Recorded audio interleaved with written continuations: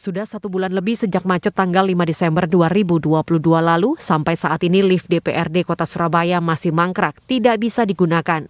Menurut keterangan beberapa anggota Komisi C DPRD Kota Surabaya, hasil audit yang dilakukan pemerintah Kota Surabaya melalui Dinas Cipta Karya, lift macet akibat kekurangan daya, sehingga sering ngadat jika kedua lift dihidupkan. Seharusnya lift yang ada di gedung baru menggunakan trafo sendiri, tidak digabung dengan listrik gedung yang lama. Hasil koordinasi antara Komisi C dengan Dinas Cipta Karya saat ini masih dilakukan proses penambahan trafo, namun tidak jelas sampai kapan.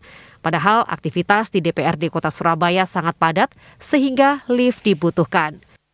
Jadi kalau trafonya itu memang satu, seharusnya itu dua. Sampai sekarang itu hmm. eh, mau dianggarkan untuk pembelian apa trafo yang baru juga untuk memisah apa itu jaringan uh, listriknya itu antara gedung yang lama dengan gedung yang baru.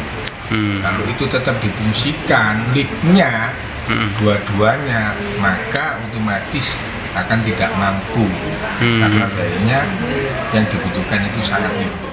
Nah, ini mestinya kalau masalah itu harus segera diselesaikan mengingat di sini ini bukan hanya anggota DPRD tapi juga banyak kantor kan gitu. Hmm. Lalu yang kedua tempat tempat masyarakat di sini. Kan gitu lain dengan pemkot lain dengan dinas dinas dinas kan gitu. Kalau di sini kan memang bukan tempat berkumpulnya orang. Hmm. otomatis apalagi kita mengarah ke tempat kita yang ada. Kalau ada tamu-tamu mesti ke ruangan kita masing-masing yang ada yang baru dibangun dengan dana yang di situ kan gitu. Hmm. uh, otomatis perlu kalau ada masalah harus segera diatasi utamanya seperti lift Komisi C sendiri sangat menyayangkan kondisi ini karena dua lift itu dibeli dengan anggaran cukup besar, namun hanya satu yang bisa digunakan.